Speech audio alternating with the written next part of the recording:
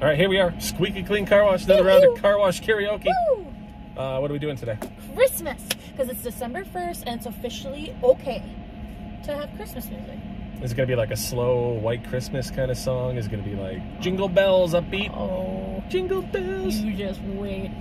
All right, guess the song and win a squeaky clean car wash pass for yourself. So you can come here to Squeaky Clean Woo! and sing at the car wash like this nerd. Ah! Oh yeah, that hit the spot right there. Right there. Now it's getting weird. Looks like somebody been done to the Walmart. Those are my Christmas presents. Man, girl, you done cleaned up. What you get? I got five flannel shirts, four big mud tires, three shotgun shells, two hunting dogs, and uh, some parts to a Mustang GT. Girl, you got Jip. There's 12 days to Christmas. I know. Look over in that corner. Jeez, is that yours too? Yeah.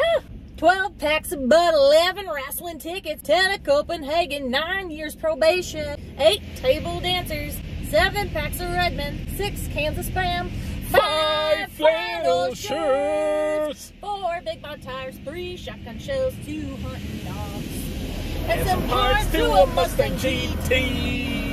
Those aren't normal Christmas presents. They're redneck gifts. redneck gifts. Yeah, like when you buy your wife earrings, they can also go as fishing lures, or you can burp the entire chorus to Jingle Bells, or, or if you ever misspell anything in Christmas lights, or you leave cold beer and pickled eggs for Santa. What's wrong with that? I didn't say anything was wrong with that.